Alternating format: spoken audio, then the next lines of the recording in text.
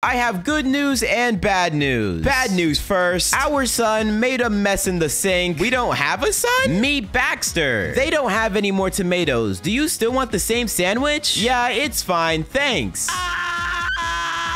You okay? Yeah, my bad. Hey, what are you doing? I just shaved my bird. Do you mean beard? No. I have a question. Is is the eel your question? No, the eel is just having a fun time. Dude, if I weigh 99 pounds and I ate one pound of nachos, would I be 1% nachos? What? If you drop soap on the floor, is the floor clean or the soap dirty?